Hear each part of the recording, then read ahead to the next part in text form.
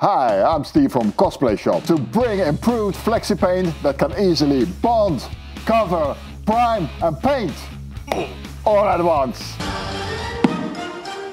Normal acrylic paints often leave nasty cracks on your cosplay. That's a lot of damage. Flexi paint has great coverage and doesn't crack. And the bond is super strong and comes in different colors. And no tackiness. To show you the strength of flexi paint, I'm gonna saw this prop in half. So, if you're looking for a primer paint in any color for your cosplay, get the new formula Flexi Paint soon at cosplayshop.be.